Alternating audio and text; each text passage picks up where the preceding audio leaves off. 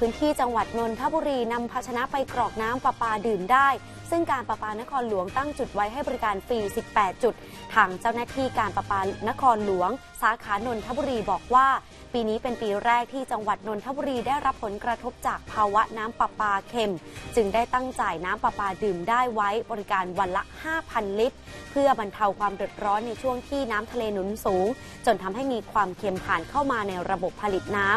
ทั้งนี้ประชาชนสามารถนำภาชนะไปรองน้ำได้ทุกวัน ระหว่างเวลา 8นาฬิกาถึง 20นาฬิกาซึ่งจะแจกไปจนกว่าสถานการณ์จะกลับเข้าสู่สภาวะปกติ